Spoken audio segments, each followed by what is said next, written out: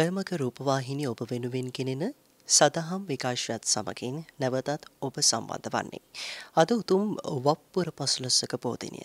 ශාසන ඉතිහාසය තුළ වැදගත් සිදුවීම් රාශියක් සිත වූ පුරපසලසක පෝතිනයක් ලෙස අද දවස හඳුන්වන්නට පුළුවන්. අප සූදානම් වන්නේ අද උතුම් මේ පුරපසළොස්සක පෝදිනේ මීළඟ ධර්ම දේශනාව සමකින් ඔබව සම්බන්ධ කරන්නටයි. ඊට මත්තෙන් මතක් කරන්නට කැමති මේ උතුම් ධර්ම දේශනාව වෙනුවෙන් සැදැහැති කල්්‍යාන මිත්‍රදායකත්වය දරන පිරිස කවුරුන්ද කියන කාරණාව. වචරද සිල්වා මහතා එම මහත්මිය ඇතුළු දෙපාර්ශවයේ දෙමව්පියන් විසින් තමයි මෙම උතුම් ධර්ම දේශනාව වෙනුවෙන් සැදැහැති කල්්‍යාන මිත්‍රදායකත්වය දරනු ලබන්නේ.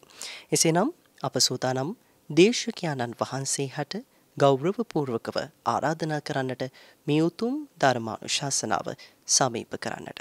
අවසරයි නම කියන්නට පූජපාද බෝපැත්තේ සෝමානන්ද ස්වාමින් වහන්ස ඔබ වහන්සේටයි මේ ගෞරව පූර්වක ආරාධනය මේ උතුම් සදහම් දේශනය පවත්වන්නට අවසරයි ස්වාමින් වහන්ස සාදු සාදු සාදු සමන්තා චක්කවාලේසු අත්‍රා ගච්ඡන්තු දේවතා සද්ධම්මං මුනි රාජස් සුනන්තු සග්ග මොක්කදං ධම්මස්සවන කාලෝ අයං භදන්තා ධම්මස්සවන කාලෝ අයං භදන්තා.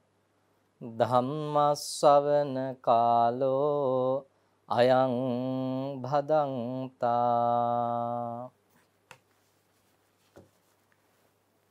නමෝ තස්ස භගවතෝ අරහතෝ.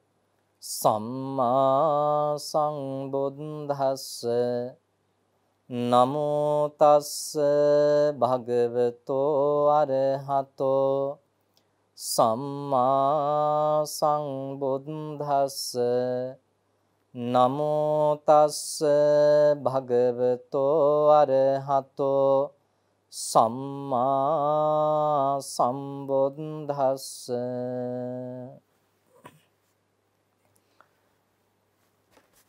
ඒවං මේ සුතං ඒකං සමයං භගවා භග්ගේසු විහෙරති සුන්සුමාරගිරේ බේස කලාවනේ මිගදායේ තේන කෝපන සමයේන ආයස්මා අනුරුද්ධේ චේතිසු විහරතේ පාචීන වංස දේසාති.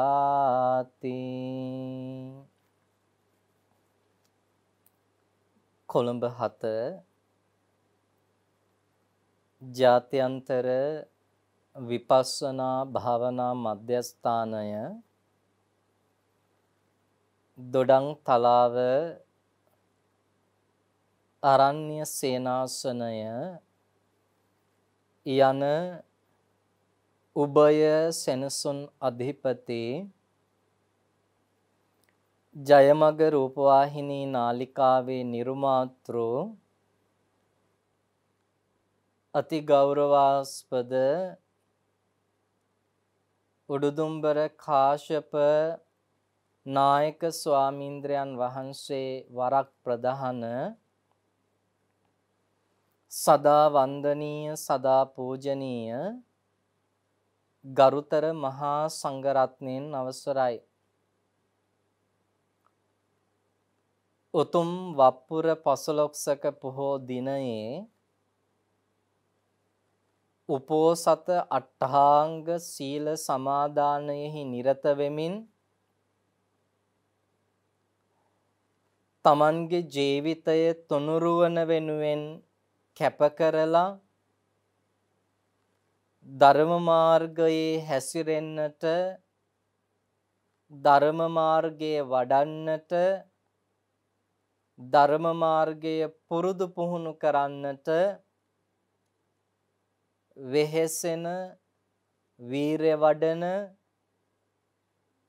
ශ්‍රද්ධාකාමී සදැහැති වාසනාවන්ත පින්වතුනි පින්වතියනි.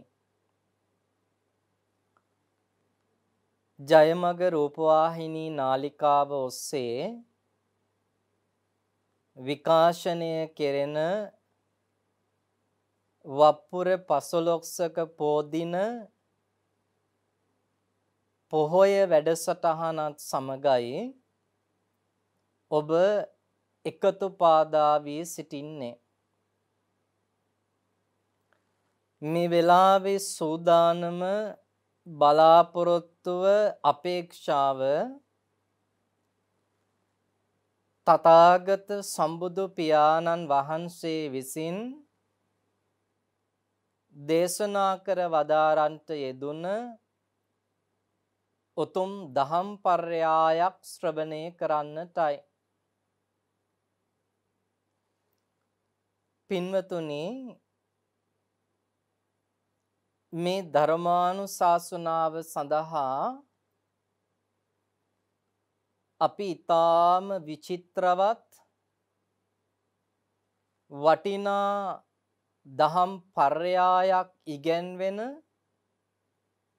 සූත්‍ර දේශනාවකුයි තෝරගන්නට යෙදුනේ.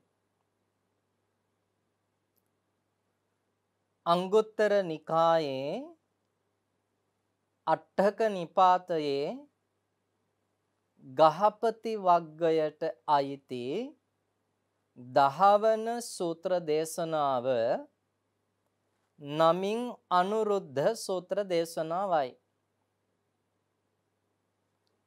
අද දවසේ මේ උතුම් සද්ධර්මානු ශාසනාව තුළ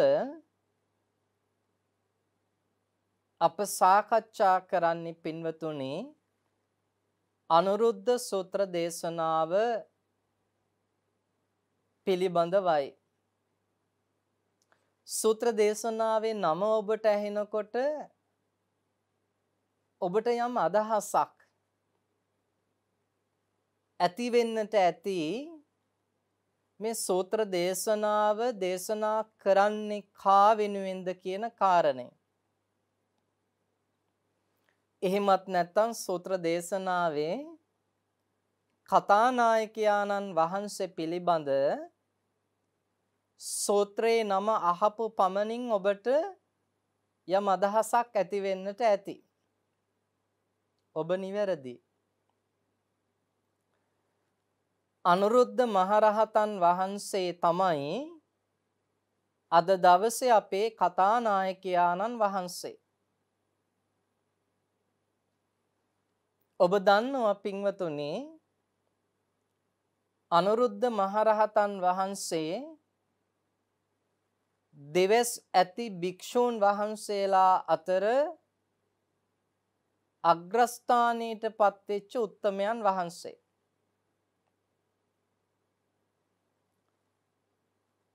මේ සිදුවීම සිද්ධ වෙනකොට පින්වතුනේ අපේ අනුරුද්ධයන් වහන්සේ මගඵල අවබෝධ කරගෙන තිබුණත් උතුම් රහත් ඵලයේ සාක්ෂාත් කරගෙන තිබුණේ නැහැ. උතුම් රහත් ඵලයේ සාක්ෂාත් කරගෙන නොතිබුණත් ඒ වන විටත් අපේ අනුරුද්ධ මහරහතන් වහන්සේට දහසක් ලෝක දකින්නට තරම් දිවසක් තිබුණා. මේ වනකොට තථාගතයන් වහන්සේ වැඩ සිටියේ පින්වතුනි බග්ග ජනපදයේ සුන්සුමාර ගිර බේසකලා කියන වනයේ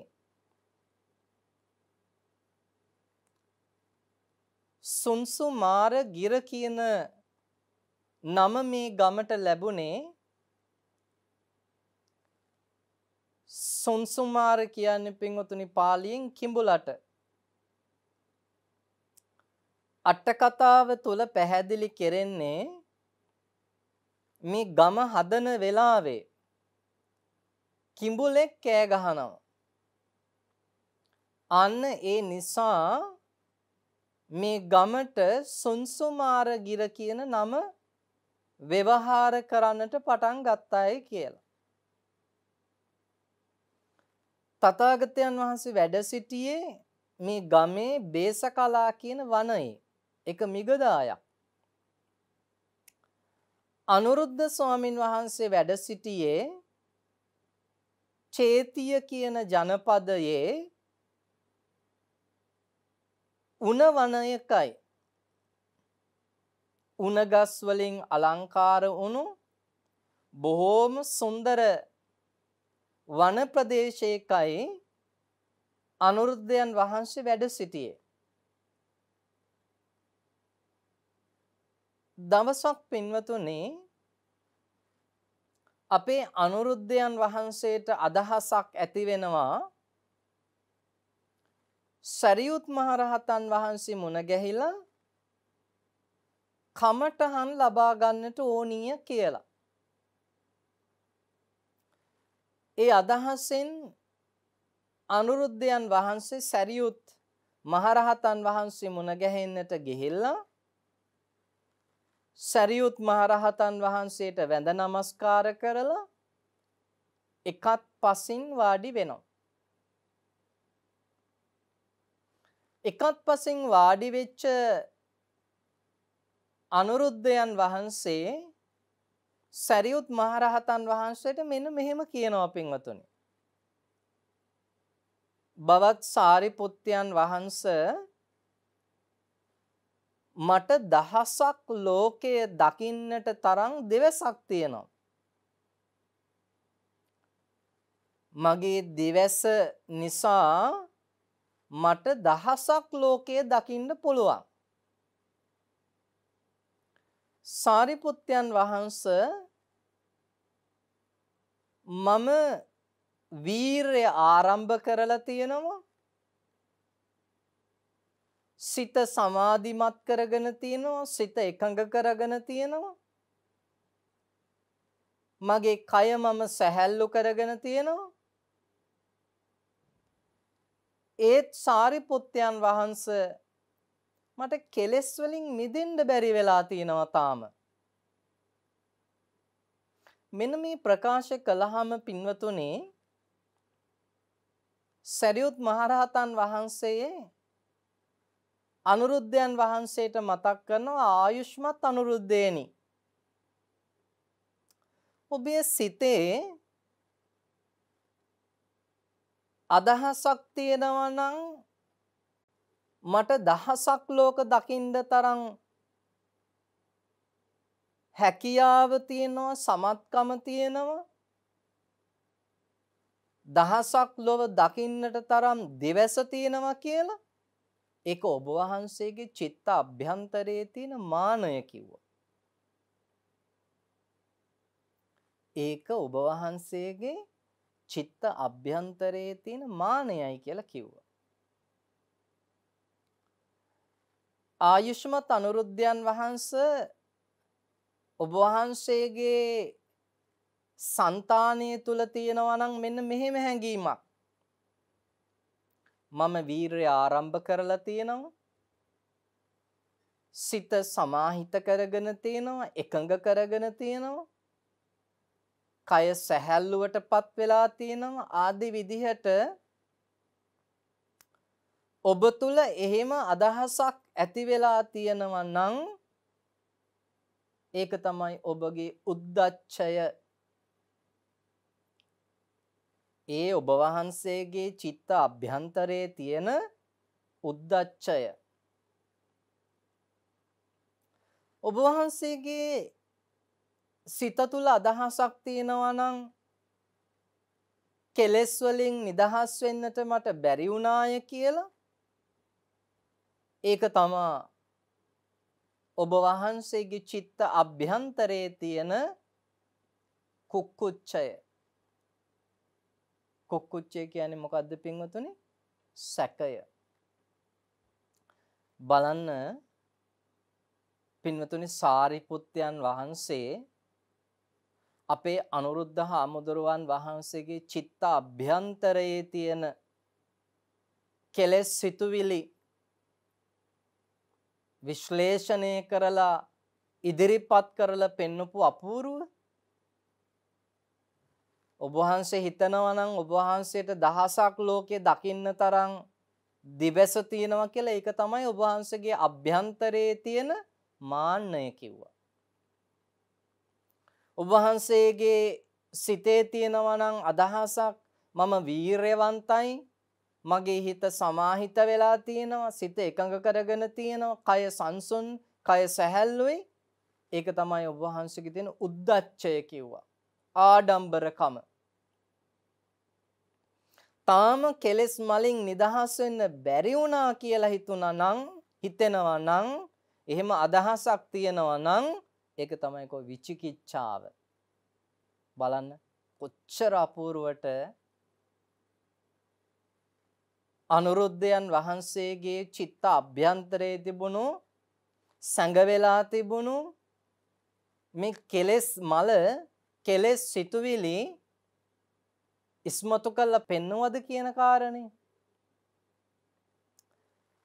එහෙම අනුරුද්ධයන් වහන්සේගේ චිත්ත අභ්‍යන්තරයේ තියෙන මේ කෙලෙස් සිතුවිලි ඉස්මතු කරලා පින්වතුනේ සාරිපුත්තයන් වහන්සේ මතක් කරනවා භවත් අනුරුද්ධේනි දැන් මේ ඔබේ චිත්ත අභ්‍යන්තරයේ තියෙන මේ සිතුවිලි මානය උද්දච්චය විචිකිච්ඡාව මේ සිතුවිලි අතාරින්ද නිවනටම නැමුණු නිවනටම බරවුණු සිතුවිලි දාමයක් චිත්ත අභ්‍යන්තරය තුළ ඇති කරගන්නටේ කිය. පිංවතුනි අනුරුද්ධයන් වහන්සේ අපේ සාරිපුත්තයන් වහන්සේගේ අවවාදය අනුශාසනාව කමටහන පිළි අරගෙන නැවතත් උන්වහන්සේ වැඩඉඳපු අර උනවනයටම වඩිනෝ. වැඩම කරලා සාරිපුත්තයන් වහන්සේ කරුණා සිත් පෙරටුව ලබා දුන්නු කර්මස්ථාන වඩනවා.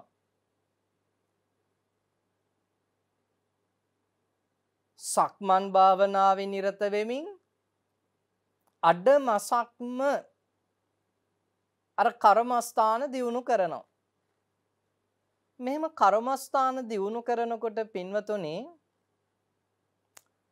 අනුරුද්ධ හාමුදුරුවන් වහන්සේට යම්කිසි විදිහේ විවේකයක් අවශ්‍ය වෙනවා. උන්වහන්සේ අසල තිබුණු බටගසක් එහෙම නැත්තම් උණගසක් අසල වාඩි වෙලා උන්වහන්සේට ටිකක් විවේක සුවය බින්දිනවා. අන්න ඒ විවේක සුවයෙන් වැඩ ඉන්න අනුරුද්ධ හාමුදුරුවන් වහන්සේට විතර්කයන් පහළ වෙනවා సంతානය තුලට ඒ විතර්කයන් වලට කියන්නේ පින්වතුනි මහා පුරුෂ විතර්ක. අනුරුද්ධයන් වහන්සේගේ චිත්ත අභ්‍යන්තරයේ තුල ඇති වුණු විතර්කයන්ට මොකද කියන්නේ? මහා පුරුෂ විතර්ක. මහා පුරුෂ විතර්ක පින්වතුනි සාමාන්‍ය කෙනෙක්ට ඇතිවෙන සිතුවිලි නෙමේ. සාමාන්‍ය කෙනෙක්ගේ චිත්ත අභ්‍යන්තරය තුළ ඇතිවෙන විතරකයනුත් නෙමේ. එනිසයි මහා පුරුෂ විතරක කියලා ඒක හඳුන්වන්. මේ අනුරුද්ධ හාමුදුරුවන් වහන්සේගේ චිත්ත අභ්‍යන්තරයේ ඇතිවුණු විතර්ක පිළිබඳ අවධානය යොමු කිරීම ඉතාම වැදගත් පින්වතුන්. ඉතාම වටිනවා. තථාගතයන් වහන්සේ දේශනා කර වදාරන්නට යෙදුණු මේ සම්බුදු දහමේ සැබෑ අයිතිකරුවා කවුද? සැබෑ උරුමකරුවා කවුද? මේ දහමේ සැබෑ ආශිර්වාද ලත් තැනැත්තා කවුද කියන කාරණය මේන්න මේ මහා පුරුෂ විතර්කයන් පිළිබඳ දැනගැනීමෙන් ඔබට හඳුනගන්ට පුළුවන් වෙනවා. පින්වතුනි අපිට කියන්නේ බෞද්ධ කියලා. වර්තමානයේ බුදුරජාණන් වහන්සේගේ දේශනාවට අනුව ජීවත් වෙන පිරිස හඳුන්වන්න යොදන පොදු වචනේ තමයි බෞද්ධ. නමුත් අපි දැකලා තියෙනවා ඇතැම් බෞද්ධයෝ නමට පමණක් බෞද්ධ. තථාගතයන් වහන්සේගේ දේශනාවට අනුව ජීවත් වෙන ස්වરૂපයක් උන්වහන්සේ පෙන්වපු ධර්ම මාර්ගයේ තුල හැසිරෙන ස්වરૂපයක්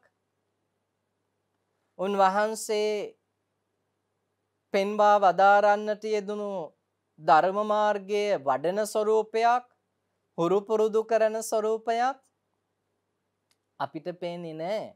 හැබැයි බෞද්ධ. හැබැයි බෞද්ධ. ඒ කෙසේ වෙතත් අපි හිතනවා පින්වතුනි බුදුරජාණන් වහන්සේ දහම දේශනා කළේ බෞද්ධ අපිට කියලා. කොතනකවත් පින්වතුනි බුදුරජාණන් වහන්සේ බෞද්ධයන්ට දහම දේශනා කළ නෑ. අපි හිතනවා මේ තථාගතයන් වහන්සේගේ දහම අයිති බෞද්ධ අපිට කියලා. මේ දහමේ උරුමකාරයෝ වන්නේ බෞද්ධ අපි කියලා. නමුත් මේ අනුරුද්ධ සූත්‍ර දේශනාව තුලදී ඔබට හඳුනගන්ට පුළුවන් සැබෑවටම දහමේ උරුමක්කාරයන් කවුද? සැබෑවටම දහමේ අයිතිකාරයන් වන්නේ කවුද? ඒ බෞද්ධ අපිද නැත්නම් වෙන කෙනෙක්ද කියලා. අන්න ඒ නිසයි පින්වතුනි ආරම්භයේදීම මේ දේශනාව හරිය විසිතුරු දේශනාවක් කියලා අපි මතක් කළේ. උණ ගසක් යට විවේක සුවයෙන් වැඩ සිටිය අනුරුද්ධ හාමුදුරුවන් වහන්සේගේ සිත තුළට ඇතිවන මහා පුරුෂ විතරක මෙන්න මේ විදිහටයි ඇති වෙන්නේ පින්වතුනි. අප්පිච්චස්සායන් ධම්මෝ නායන් ධම්මෝ මහිච්චස්ස. ඔන්න ඇතිවෙච්ච පළවෙනි විතර්කය. අප්පිච්චස්සායන් ධම්මෝ නායන් ධම්මෝ මහිච්චස්ස. මේ දහමේ පළවෙනි අයිතිකාරයයි මේ හඳුන්වන්නේ. මේ දහමේ සැබෑ උරුමකාරයෙකුයි මේ හඳුන්වලා දීලා තියෙන්නේ. කවුද? අප්පිච්චස්සායන් අල්පේච්ඡතාවයෙන් යුතු කෙනාටයි මේ දහම නායං ධම්මෝ මහිච්ඡස්ස මේ දහම මහිච්ඡස්ස පුද්ගලයාට නෙමෙයි. ඒ කියන්නේ අල්පේච්ඡතාවයෙන් යුතු පුද්ගලයාට විතරයි දහම අල්පේච්ඡතාවයේ පුරුදු පුහුණු කරපු නැති කෙනාට මේ දහමයිති නෑ. එහෙනම් ඔබ බෞද්ධයෙක් වුණාට මේ දහමේ අයිතිය ලැබෙන්නේ නෑ. ඔබ බෞද්ධයෙක් වුණ පමණින්ම මේ දහමේ උරුමය ලැබෙන්නේ නෑ. මේ දහමේ සැබෑ අයිතිය ලැබෙන්නේ මේ දහමේ සැබෑ උරුමය ලැබෙන්නේ අල්පේච්ඡතාවය දියුණු කරපු ප්‍රගුණ කරපු අයටයි. පින්වතුනි මොකද්ද මේ අල්පේච්ඡතාවය? අපේ බෞද්ධ සමාජයේ ඇතැම් දෙනෙක් මේ අල්පේච්ඡතාවය විග්‍රහ කරගන්නේ අඳුනගන්නේ නිවැරදි විදිහට නෙමෙයි. ටිකක් දානේ වළඳනවා නම් අනේ ඒ ස්වාමින් වහන්සේගේ තියෙන අල්පේච්ඡතාවය. පාවහන් පළඳින්නේ නැත්තම් අනේ ඒ ස්වාමින් වහන්සේගේ තියෙන අල්පේච්ඡතාවය. පින්වතුනි ටිකක් දානේ වැළඳුවයි කියලාවත් පාවහන් පාවිච්චි කළේ නෑ කියලාවත් කෙනෙක්ගේ අල්පේච්ඡතාවයේ ඇති වෙන්නේ නැහැ. ඒ කරුණ වලින් කෙනෙක්ගේ අල්පේච්ඡතාවයේ මනින්න බෑ පින්වතුනි. ඒකට හොඳම උදාහරණය දවසක් පින්වතුනි තථාගතයන් වහන්සේ මුණ ගැහෙන්න කෙනෙක් ඇවිත් කියනවා ස්වාමීනි භාග්‍යවතුන් වහන්සේ මම ඔබ වහන්සේට සෑහෙන පැහැදිලා ඉන්නේ මම ඔබ වහන්සේට සෑහෙන පැහැදිලා ඉන්නේ. අපේ බුදුහාමුදුරුව අහනවා මේ තරමටම මට පැහැදුනේ ඇයි? ස්වාමිනී ඔබ වහන්සේ ඊටාම සුළුවෙන් නිදානේ වළඳන්නේ. ඊටාම පොඩ්ඩයි දානේ වළඳන්නේ. ඒ අල්පේච්ඡතාවයට මම පැහැදුනේ ස්වාමීනී භාග්‍යවතුන් වහන්සේ කියලා මතක් කරනවා. අන්න ඒ වෙලාවේ අපේ බුදු පියාණන් වහන්සේ මතක් කරනවා මට වඩා මට වඩා සුළු වශයෙන් දානේ වළඳන ශ්‍රාවකයන් වහන්සේලා ඉන්නවා මේ ශාසනේ. මම පරිපූර්ණ දානේ වේලක් වළඳනකොට මගේ ශ්‍රාවකයන් වහන්සේලා ඉන්නවා බත් පිඬු එකක් දෙකක් පමණක් වළඳන. එනිසා මම දානේ වළඳන ප්‍රමාණය දැකලා මට පහදින්න එපා. මම සුළුවෙන් දානේ වළඳනවා කියලා දැකලා ඒක අල්පේච්ඡතාවයයි කියලා අදහස් කර ගන්නට එපා කියලා උන්වහන්සේම මතක් කරනවා. පින්වතුනි අල්පේච්ඡතාවය කියන්නේ හැබෑවටම තමන්ට ලැබුණු දෙයින් සතුටට පත්වීම. යමක් ලැබුණා නම් ඒ ලැබුණු දෙයින් සතුටට පත්වීම. අල්පේච්ඡතාවයේ පින්වතුනි ආකාර කීපයකින් අපිට අඳුන ගන්න පුළුවන්. එකක් තමයි ප්‍රත්‍ය අපිස් බව. පච්චය අපිච්චෝ. ප්‍රත්‍ය අල්පේච්ඡතාවය සිව්පසය පරිහරණය කරනවා අල්පේච්ඡතාවයෙන්. චීවර පිණ්ඩපාත සේනාසන ගිලාන ප්‍රත්‍ය කියන සිව්පසය පරිහරණය කරනවා අල්පේච්ඡතාවයෙන් දානෙට මොනවද ලැබෙන්නේ? ලැබුණු දෙයින් සතුටුයි. තමන්ට නොලැබෙන ලැබුණු දේ පාවිච්චි කරන්න එපා කියලා නෙමේ පින්වතුනි මෙතනදී තථාගතයන් වහන්සේ මතක් කරන්නේ. දැන් බලන්න තථාගතයන් වහන්සේට කොසල් මහ රජතුමා අසද්දෘස මහා දානයක් පූජා කරනවා. තථාගතයන් වහන්සේ ඒ දානෙට වඩින්න නැතුව ඉන්නේ නැහනේ. දානේ ප්‍රතික්ෂේප කරන්නේ නැහනේ. අනේ මම අල්පේච්ඡතා ගුණයෙන් යුක්තයි. ඕවගේ විශාල දානයකට වැඩම කරන්න මට සුදුසු නෑ කියලා එහෙම තථාගතයන් වහන්සේගේ අදහසක් තිබුණේ කොසල් මහරජතුමා පූජා කරපු අසද්දෘස මහා දානෙටත් වැඩපු තථාගතයන් වහන්සේ පින්නපාතේ වඩිනකොට ලැබෙන පිනුළු වෙච්ච දානි ටික හීල දානි ටික උනත් පිළිගෙන වැළඳුවා. අන්න අල්පේච්ඡතාවය. ලැබුණු දෙයින් සතුටු වුණා. හොඳ සිදුවීමක් තියෙනවා මේකට පින්වතුනි ඔබ දන්නවා ඇති අහලා ඇති අපේ රාහුල හාමුදුරුවන් වහන්සේ දවසක් තථාගතයන් වහන්සේගේ වච්ච කුටියේ රැය පහන් කරනවා තථාගතයන් වහන්සේ ශරීර කෘත්‍ය කිරීම සඳහා වච්ච කුටියට වැඩම කරපු අවස්ථාවේ ඇතුලේ යම්කිසි කෙනෙක් ඉන්නවා කියලා තථාගතයන් වහන්සේට දැනෙනවා. තථාගතයන් වහන්සේ අහනවා මේ වච්ච කුටිය ඇතුලේ කවුද ඉන්නේ? රාහුල හාමුදුරුවෝ කියනවා ස්වාමිනී භාග්‍යවතුන් වහන්සේ මම රාහුල රාහුල හාමුදුරුවෝ වච්ච කුටියෙන් එළියට වැඩම කළාට පස්සේ තථාගතයන් වහන්සේ අහනවා රාහුල රැය පහන් කළේ වච්ච කුටියද? එහෙමයි භාග්‍යවතුන් වහන්සේ. ඇයි රාහුල? වච්ච කුටිය රැය පහන් කරන්නේ? ස්වාමීනි භාග්‍යවතුන් වහන්සේ මම කුටි සෙනසුන් වලට ගියා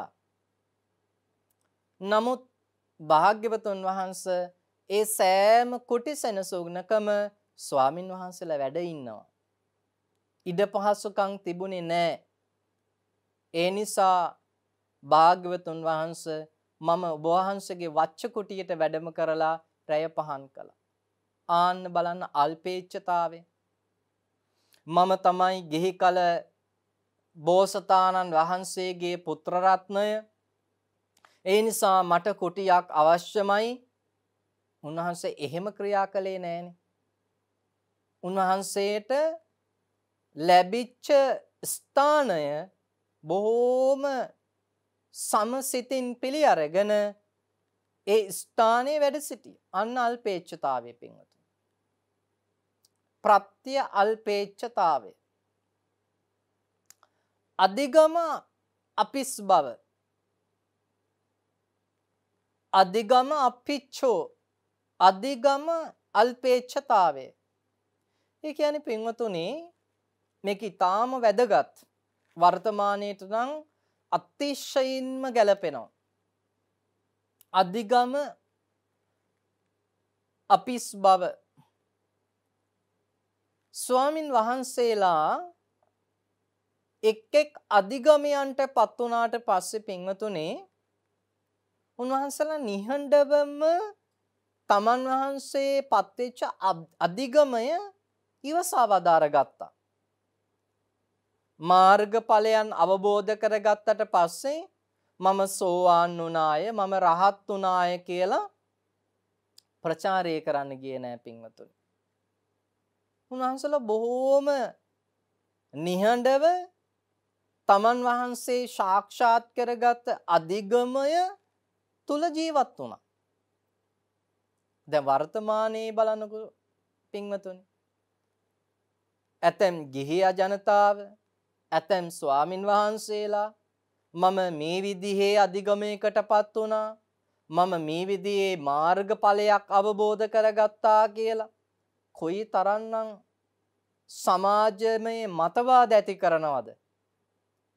එතකොට අනුරුද්ධ සූත්‍රයේ අනුසාරයෙන් බැලුවහම මේ අධිගම අපිච්චතාවයත් එක්ක ගලපගත්තාම වර්තමානයේ ඒ අධිගමයන්ට පත් වුණා කියලා මතවාද සමාජය තුල පතුරවන ගොඩනගන පිරිසගේ අල්පේච්ඡතාවයේ කොයිතරම්ද කියලා අපිට අදහසක් ගන්නට පුළුවන්.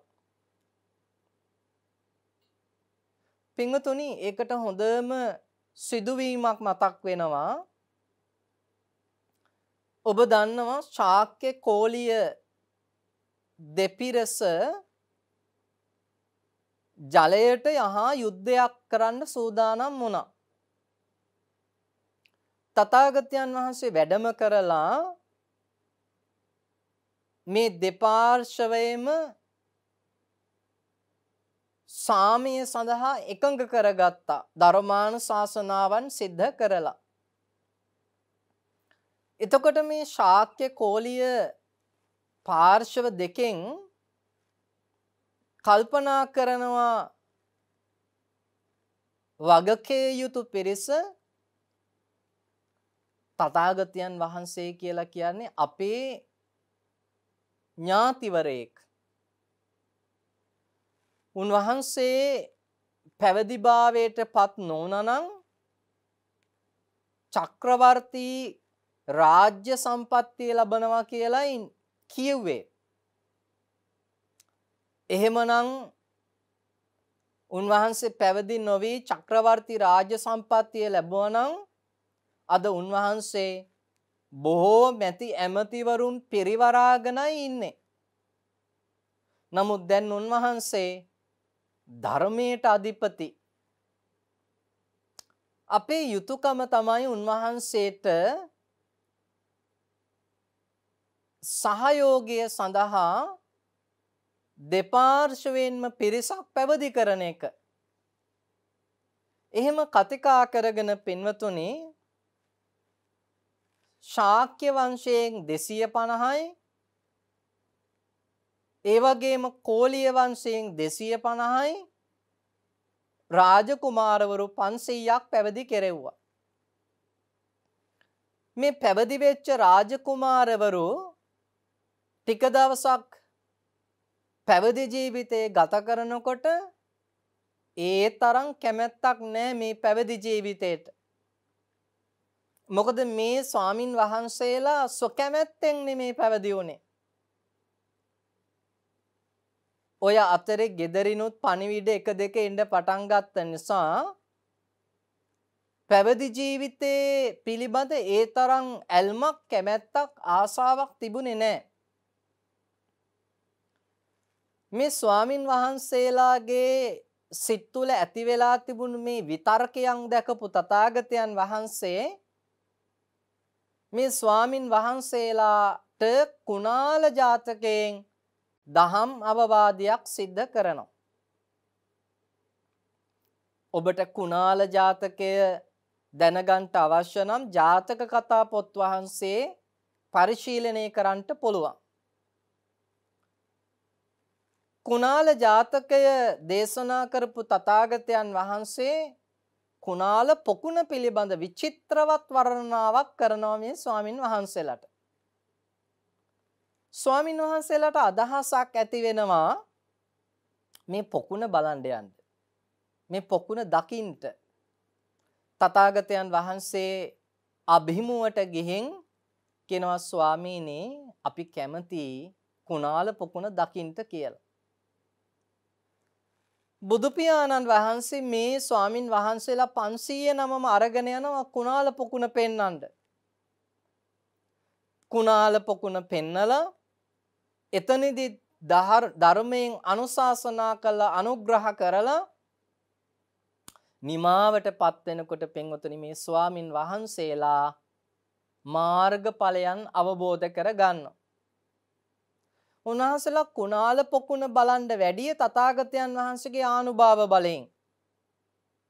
හැබැයි කුණාල පොකුණ බලලා නැවත ජේතවනාරාමයට වඩින්නේ උන්වහන්සේලා අවබෝධ කරගත් අධිගමයන්ගේ අනුභවයෙන්. උන්වහන්සේලා ඇවිල්ලා කතිකා කර ගන්නවා අපි මාර්ගඵලයන් අවබෝධ කරගත්තා වගේම අපි උතුම් රහත් ඵලයත් සාක්ෂාත් කරගන්න ඕනීය කියලා. එහෙම අරමුණක් අදිටනක් ඇති කරගෙන උන්වහන්සේලා එක් එක් ස්ථානයන් වලට වැඩම කරලා විදසුන් වඩන්ට සෝදානම් වෙනවා. පින්වතුනි විදසුන් වඩනකොටම උන්වහන්සේලා උතුම් රහත් ඵලය සාක්ෂාත් කරගන්න.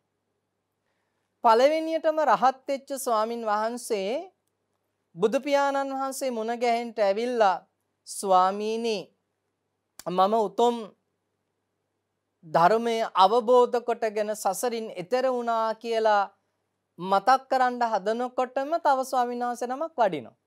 මේ විදිහට ස්වාමින් වහන්සේලා 500 නමම රහත් ඵලයට පත් වෙලා වැඩම කළා බුදු පියාණන් වහන්සේ මොන ගැහෙන්ට. ධර්මයේ සඳහන් වෙන්නේ පෙන්වතුනි මේ ස්වාමින් වහන්සේලාගේ චිත්ත අභ්‍යන්තරයේ තිබිලා තියෙන්නේ අරමුණු දෙකයි අදහස් දෙකයි. මට ඒක තමයි ඔබට පැහැදිලි කරලා දෙන්න අවශ්‍ය වුණේ.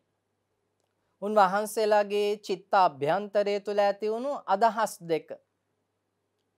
එකක් තමයි පින්වතුනි අපි මේ ලබාගත් අධිගමය ලෝකේ කිසිම කෙනෙකුට දැනගන්න නොලැබේවා. පළවෙනි අදහස. දෙවෙනි අදහස තමයි පින්වතුනි අපි මේ සාක්ෂාත් කරගත් අධිගමය සියලු ලෝක සත්වයාටම සාක්ෂාත් කරගන්ට අවස්ථාව හැකියාව ලැබේවා කියලා ප්‍රාර්ථනාවක් අදහසක් තිබුණා. බලන්න පින්වතුනි. උන්වහන්සේලාගේ සිතේ මුලින්ම තිබුණේ මොකද්ද? අපි උතුම් රහත් ඵලයට පත් වුණාට අපි රහත් ඵලයට පත් වුණා කියලා ලෝකේ දැනගන්න ඕනේ නැහැ. ලෝකේ දැනගන්න අවශ්‍යතාවයක් නැහැ. උන්වහන්සේලාගේ දෙවැනි සිතුවිල්ල හරීම කරුණාබර සිතුවිල්ලක්. අපි මේ දහම් රසය දහම් සුවය දැන් භුක්ති විඳිනවා. උතුම් රහත් ඵලයේ සාක්ෂාත් කරගෙන සියලු ලෝක සත්වයා උතුම් රහත් ඵලයෙන් සැනසේවා කියන අදහස තිබුණා කියලා කියනවා. ඉතින් පින්වතුනි ආන්න උත්තමයන් වහන්සේලාගේ ස්වභාවය අධිගම අල්පේච්ඡතාවය කියන්නේ ඒකට. තමන් රහත් ඵලයටපත් වුණා කියලා අඬ බෙර ගහලා ප්‍රදේශයටම ප්‍රවෘත්තිය කියලා අනවශ්‍ය විදිහේ බාධාවන් ඇති කරගත්තේ නෑ ඒ ජීවිතවලට. තව ඊටාම රසවත් සිද්ධියක් තියෙනවා පින්වතුනි. ඒ සිද්ධිය සිද්ධ වෙන්නේ අපේ ලංකාවේ. ලංකාවේ ඒ වෙනකොට රජ කරපු රජතුමාට ආරංචි වෙනවා රහතන් වහන්සේ නමක් වැඩ ඉන්නවා කියලා වනයේ. අරණ්‍ය සේනාසනයක. රහතන් වහන්සේ නමක් දකින්ද මුණ ගැහෙන්න උන්වහන්සේත් එක්ක කතා බහ කරන්න තිබුණු කැමැත්ත උනන්දුව නිසාම රජතුමා පුරෝහිතතුමත් එක්ක අර මහරහතන් වහන්සේ වැඩ ඉන්නවා කියලා ආරංචි වෙච්ච වනයට අරණ්‍ය සෙනසුනට යනවා. යනකොට එක ස්වාමින් වහන්සේ නමක් මහපට ඇඟිල්ලෙන් බිම ඉරි ඇඳ ඇඳ ඉන්නවා. පුරෝහිතතුමාගෙන් අහනවා රජතුමා කෝ රහතන් වහන්සේ. පුරෝහිතතුමා අර මහපට ඇඟිල්ලෙන් බිම ඉරි ඇඳ ඇඳ ඉඳපු ස්වාමීන් වහන්සේ පෙන්නලා කියනවා මේ තමයි මහරජතුමනි මහරහතන් වහන්සේ. කිසිසේත්ම මුන්වහන්සේ රහතන් වහන්සේ නමක් වෙන්න බෑ. ඒ රහත් ගතිය මුන්වහන්සේගෙන් දැනෙන්නෙත් නෑ, පේන්නෙත් නෑ. මේ මහපට ඇඟිල්ලෙන් බිම හූර හූර ඉන්න ඉරි ඇඳ ඇඳ ඉන්න කෙනෙක් රහතන් වහන්සේ නමක් කියන්න පුළුවන් යෑ කියලා හැරිලා යනවා. රහතන් වහන්සේ ඒ අසල වැඩ ඉඳපු ස්වාමින් වහන්සේලාගෙන් අහනවා රජතුමා ආපු ගමන් පිටත් වෙලා ගියා. රජතුමා මොකද්ද කිව්වේ කියලා අහනවා. එතකොට කියනවා මහරහතන් වහන්සේ ඔබ වහන්සේ මහපට ඇඟිල්ලෙන් මේ ඉරි ඇඳ ඇඳ ඉන්නවා දැකලා මේ නම් රහතෙක් නෙමෙයි කියලා ගියා යන්න කියනවා. එහෙම වෙච්ච එක කොච්චරනම් දෙයක්ද කියලා රහතන් වහන්සේ මතක් කරනවා. අන්න බලන්න පින්වතුනි අධිගම අල්පේච්ඡතාවය. මොකද උන්වහන්සලා දැනගෙන ඉඳියා පින්වතුනි මේ පැවිද්ද කියලා කියන්නේ හරීම නිදහස් තැනක්. ධර්මයේ සඳහන් වෙන්නේ කොහමද? ආකාශයේ වගේ නිදහස් තැනක්. ඉතින් මොකටද මේ තමන් සාක්ෂාත් කරගත් අධිගමයක් ප්‍රකාශ කරලා මේ නැති ගැටලු නැති බාධක ඇති කරගන්නේ තමන්ගේ ජීවිතයට. ඒ තමයි අධිගම අල්පේච්ඡතාවය. ඊළඟට පින්වතුනි පරියත්ති අපිච්ඡතාවය. සමහර ස්වාමින් වහන්සේලා ඊටාම ධර්මදරයි. ත්‍රිපිටකයේ පිළිබඳ හස්සල දැනුමක් තිබුණා. ඒත් නිහඬයි. ඒත් නිහඬයි. තමන් දන්නවා කියලා පෙන්වන්න ගියේ නෑ. තමන් දන්නවා කියලා අනිත් ස්වාමින් වහන්සේලාට වාද විවාද වලට කතා කළේ නෑ. වාද කරන්න මහන්සි ගත්තේ නෑ. උන්වහන්සේලා ත්‍රිපිටක ඥානයේ උපරිමයෙන්ම ලබා ගත්තා. ඒ තරමටම නිහඬ වෙලා ඉඳියා. අපි කියන්නේ පින්වතුනි. බෙරේ හරි සද්දයි. ඒ ඇයි? ඇතුළ හිස් නිසා. ඇතුළ හිස් නිසයි බෙරේ ඔච්චර සද්දේ. ත්‍රිපිටක ධර්මයෙන් පෝෂණය වෙච්ච ඒ ධර්මඥානේ ඊටාම හොඳින් තිබුණු ධර්මයේ පිළිබඳ හස්සල දැනුමක් තිබුණු ස්වාමීන් වහන්සේලා නිහඬයි. ඒත් වර්තමානයේ බලන්නකො පින්වතුනි. ඇතැම් ස්වාමින් වහන්සේලා වාද කරන්නමයි කැමති. වාදයටමයි කතා කරන්න. එතකොට උන්වහන්සේලාගේ පරියත්ති අල්පේච්ඡතාවයේ කොච්චරද කියන කාරණය මේ අනුරුද්ධ සූත්‍රානුසාරයෙන් හඳුනගන්න පින්වතුනි. ඒ උත්සාහය ඔබ නිරත වෙන්න. අවසානික තමයි පින්වතුනි දූතංග අපිච්ඡතාවය. දූතාංගයෙහි අල්පේච්ඡතාවය. ඇතැම් ස්වාමින් වහන්සේලා පින්වතුනි දූතාංග සමාදන් වෙලා ඉඳියා තමන් දෝතාංග සමාදන් වෙලා ඉන්නවද කියන එක සමීපයේ ඉඳපු ස්වාමීන් වහන්සේවත් දන්නේ නැහැ. ඇතැම් ස්තවිරයන් වහන්සේලා ඉන්දියා පැවිදිභාවයට පත්වෙච්ච දවසේ ඉඳලම රාත්‍රිය ගත කළේ අමු සොහොනේ. ඒත් ගෝල ස්වාමීන් වහන්සේවත් ඒ කාරණේ දැනගෙන ඉදියේ නැහැ. Tamanගේ ගුණය කාටවත් කියන්න පෙන්වන්න උත්සාහවන්ත උනේ නැහැ. දූතාංග අල්පේච්ඡතාවය. ආන්නේ ඒ විදිහට පින්වතුනි ප්‍රත්‍ය කෙරෙහි අල්පේච්ඡතාවය ඒ වගේම පින්වතුනි අධිගම පිළිබඳ අල්පේච්ඡතාවය පරියත්තිය පිළිබඳ අල්පේච්ඡතාවය සහ දෝතාංගයේ පිළිබඳ අල්පේච්ඡතාවය ඇති කර ගැනීම තමයි සැබෑ අල්පේච්ඡතාවය. එතකොට එවැනි අල්පේච්ඡතාවයකින් යුතු කෙනාටයි මේ දහම අයිති. මේ දහමේ සැබෑ උරුමක්කාරයා වන්නේ ආන්න ඒ අල්පේච්ඡතාවයෙන් යුක්ත වෙච්ච පුද්ගලයයි. දෙවැනි විතර්කයේ පිංහතුනි සන්තුට්ටස්සායන් ධම්මෝ නායන් ධම්මෝ අසන්තුට්ටස්ස මේ දහම අයිතිකාටද සන්තුට්ටස්ස ලදදයින් සතුටු වෙන කෙනාටයි. ලදදයින් සතුටුවෙන්ට බැරි කිසිම කෙනෙකුට මේ ධර්මය අයිති නෑ. ලද දෙයින් සතුටු වෙන්න බැරි කිසිම කෙනෙක් මේ ධර්මයේ උරුමකාරයෝ වෙන්නේ නැහැ. ඔබ ලද දෙයින් සතුටු වෙන කෙනෙක් නම් මේ දහම ඔබට අයිති. මේ දහමේ අයිතිකාරයෙක් ඔබ. මේ දහමේ උරුමකාරයෙක් ඔබ. සන්තුට්ටිය පින්වතුනි යතා ලාභ සන්තුට්ටිය යතා බල සන්තුට්ටිය යතා සාරුප්‍ය සන්තුට්ටිය කියලා අපිට අඳුන ගන්න පුළුවන්. ලද දෙයින් සතුටු වීම. තුන්වෙනි කාරණේ තමයි පින්වතුනි පවිවිත්තස්සායන් ධම්මෝ නායන් ධම්මෝ සංගනිකාරාමස්ස මේ දහම කාටද අයිති? මේ දහම කාටද උරුම? විවේකීව ඉන්න අයටයි. හුදකලාව ඉන්න අයටයි. නායන් ධම්මෝ සංගනිකාරාමස්ස මේ එකතු වෙලා පොදි බැඳලා සමූහ වශයෙන් සාකච්ඡා පවත්වලා එහෙම සමූහ වශයෙන් ඉන්න අයට නෙමෙයි මේ දහම කියලා උන්වහන්සේ පැහැදිලි කරනවා. ඉතින් මේ විදිහට පින්වතුනි අනුරුද්ධයන් වහන්සේ මේ දහමේ සැබෑ අයිතිකාරයෝ කවුද කියන එක අපිට පෙන්වලා දීලා තියෙනවා. ආරද්ධ විරියස්සායන් ධම්මෝ නායන් ධම්මෝ කුසීතස්ස මේ දහම අයිති ආරාධ්‍ය වීරය ඇති අයට කුසීත අයට මේ දහම අයිති නෑ. කම්මැලි කුසීත කමින් කටයුතු කරන අයට මේ දහම උරුම නෑ. මේ දහම උරුම කාටද ආරාධ්‍ය වීරය තියෙන අයටයි. උපට්ටිත සතිස්සායන් ධම්මෝ නායන් ධම්මෝ මොට්ටස්ස තිස්ස මේ දහම අයිති උපට්ටිත සතියෙන් යුක්ත අයට ඒ කියන්නේ කායානුපස්සනා වේදනානුපස්සනා ධම්මානුපස්සනා චිත්තානුපස්සනා කියන්නේ සතර සතිපට්ඨානෙන් යුක්ත අයටයි මේ දහමයිති. සිහි මුලා වෙච්ච අයට මේ දහමයිති නෑ. සමාහිතස්සායන් ධම්මෝ නායන් ධම්මෝ අස්සමාහිතස්ස මේ දහමයිති සමාහිත හිතක් ඇති කෙනෙකුටමයි. හත්වෙනි විතර්කයේ ඔබට හරි හුරුයි පුරුදුයි.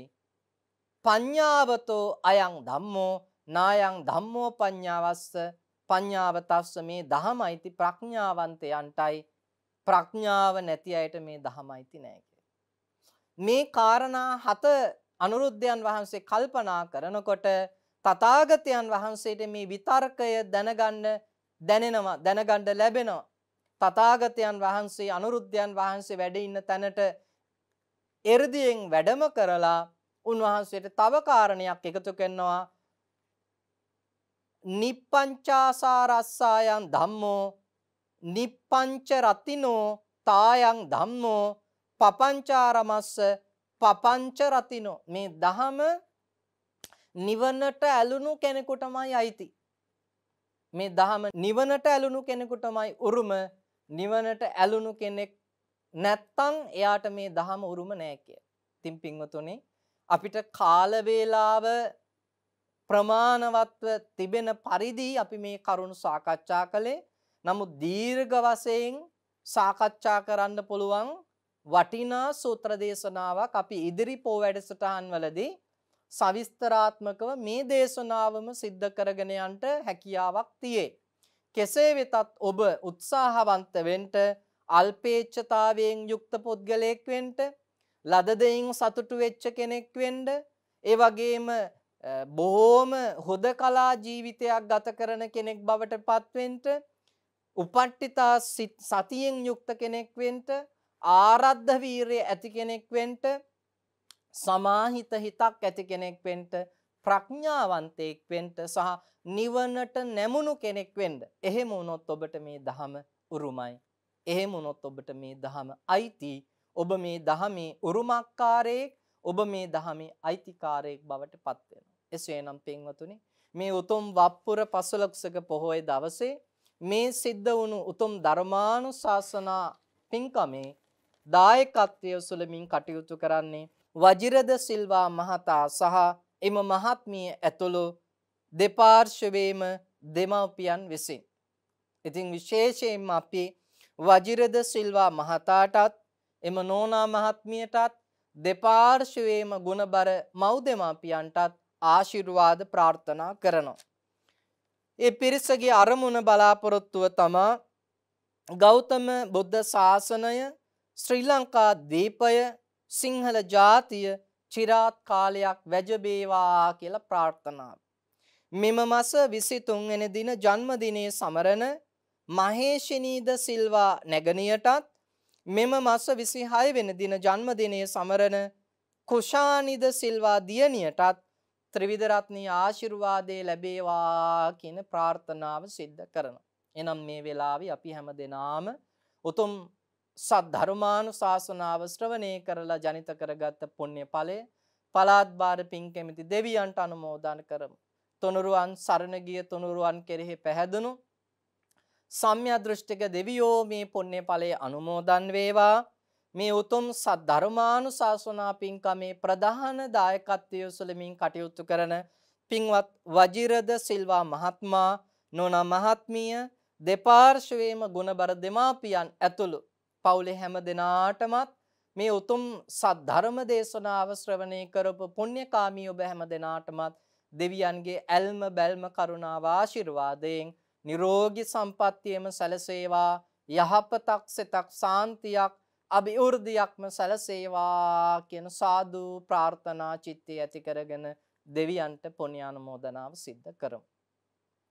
එත්තාවතාච අම්හෙහි සම්බතං පුඤ්ඤ සම්පදං සබ්බේ දේවා අනුමෝදන්තෝ සබ්බ සම්පත්ති සිද්ධියා එත්තාවතාච අම්හෙහි සම්බතං පුඤ්ඤ සම්පදං සබ්බේ දේවා අනුමෝදන්තෝ සබ්බ සම්පත්ති සිද්ධියා එත්තාවතාච අම්හෙහි සම්බතම් පුඤ්ඤ සම්පදං සබ්බේ දේවානුමෝදන්තෝ සබ්බ සංපත්ති සිද්ධියා මේ උතුම් ධර්ම දේශනා පින්කමේ ප්‍රධාන දායකත්වය උසුලන පින්වත් වජිරද සිල්වා මහත්මයා එම මහත්මිය දෙපාර්ශ්වයේම දෙමාපියන් නමින් මිය පරලව ගිය වර්ග પરම්පරානුගත සීලු ඥාතිහිත මිත්‍රාදීන් මේ පුණ්‍ය ඵලයේ අනුමෝදන් වේවා. සත් ධර්මයේ ශ්‍රවණය කරපු ඔබ අප හැම දෙනා නමින්ම මිය පරලව ගිය අපේ ඥාතීන් මේ පුණ්‍ය ඵලයේ සියාතින් සිය සිතින් සිදු කරගත් පිනක්සේ අනුමෝදන් වේවා.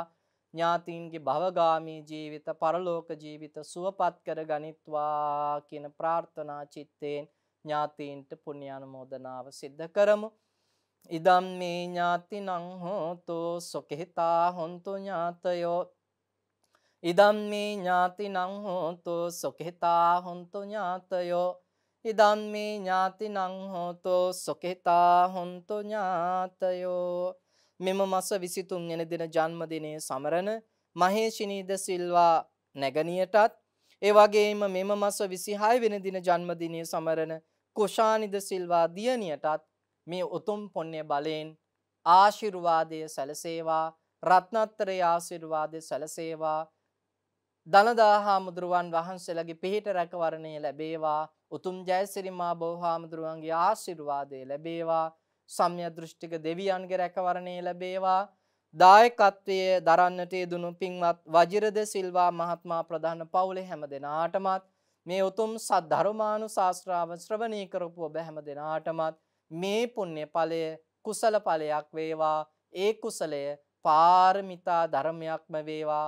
සසර දුකින් එතරව ලබන උතුම් නිර්වාණ අවබෝධයම සාක්ෂාත් කරගන්නට ඒ පාරමිතාව හේතු වාසනා වේවා වේවා කියලා ප්‍රාර්ථනා කරන්ට හැම දිනාටම සම්මා සම්බුදු සරණයි සාදු සාදු සාදු.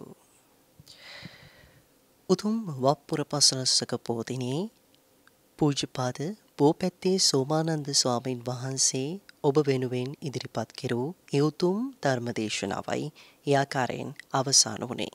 මේ ධර්මදේශනාව සඳහා සැදැහැති කල්්‍යාන මිත්‍රදායකත්වය සැපයූවේ වජිරද සිල්වා මහතා එම මහත්මිය ඇතුළු එම දෙපාර්ශවේ දෙමාපියන් විසින්. සූදානම් තවත් ධර්ම දේශනාවක් අද දවසේදී ඔබ වෙනුවෙන් තවත් ස්වල්ප මොහොතකින් සමීප කරන්නට රැඳෙන්නට ආරාධනා කරනවා පෝදා දවස පුරාවට ජයමග පෝදා සදහම් විකාශයත් සමගින්.